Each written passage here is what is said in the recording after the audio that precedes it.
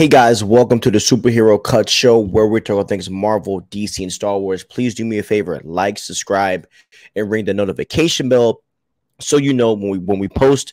It's your boy Stevie Hayes, per usual. Um, so happy you guys are here. So today I wanted to talk to you guys about the MCU Illuminati. Okay, so there's been a plethora of rumors that have been coming out for the past couple of days.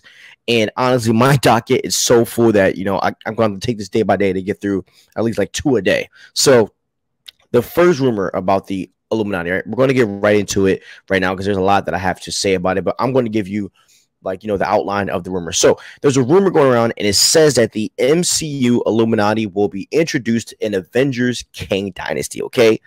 That's, that's like the rumor. Okay. Now, to me, right, this makes perfect sense why we would see an Illuminati in this movie because you have to think, right? First of all, when Doctor Strange comes back from his multiversal adventure and Doctor Strange in the multiverse of madness, obviously he would want to create his own version of the Illuminati in the main MCU timeline, you know, due to him seeing how well the Illuminati functioned in the 838 universe, even though they all got killed by Wanda it's probably a new Illuminati there. Not sure. There is a rumor about Wanda uh, on Earth 838, but we'll talk about that another time. Um, and you know, I do think that it is a good idea to introduce the Illuminati into this movie. Now, you know, we don't know how long the time gap is, right, between the ending between the end of Doctor Strange, like the movie, and the end credit scene when Clea comes in. So I, so my assumption, and I think the main assumption that a lot of fans have is that during that time gap between the end of Doctor Strange in, in the multiverse of madness and the time when Clea comes in the end credits, that's most likely when the Illuminati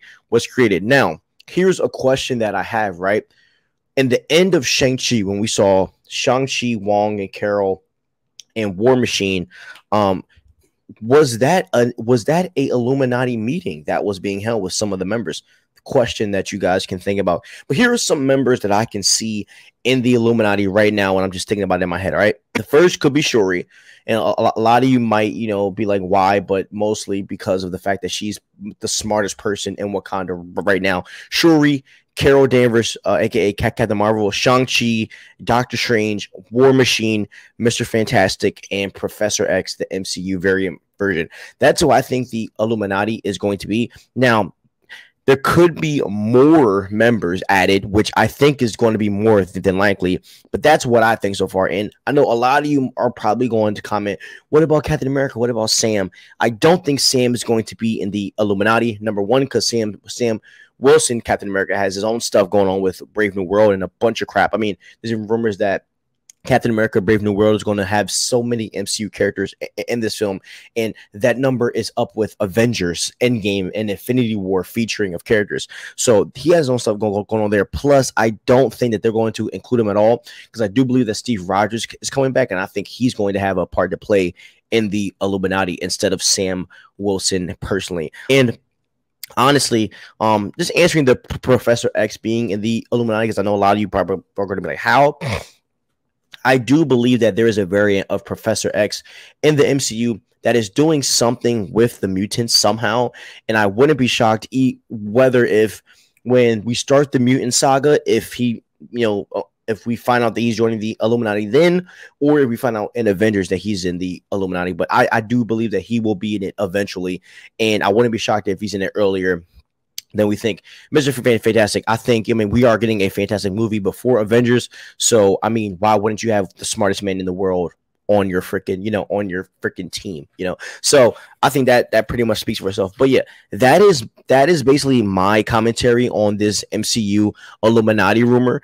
Um, I believe that it could definitely be true. And I mean, I was kind of expecting to see a Illuminati team either in Kang Dynasty or Secret Wars, you know, because of, you know, just what's happening. I mean, it makes sense. So tell me what you guys think about the Illuminati. Do you want them in the MCU? And do you like some of the members that I named? And if you have your own team of the Illuminati that doesn't match up with mine, type that out in the comment section so we can discuss about it and tell you if I agree or disagree and we can converse about those things. But thank you for watching and listening.